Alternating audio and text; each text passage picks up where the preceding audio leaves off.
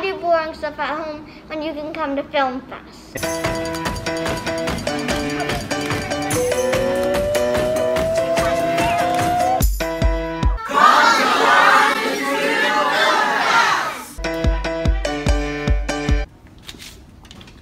Um, um, when you watch a movie, imagine um, if you can make one, one yourself. Then, come, then, then go to Festive.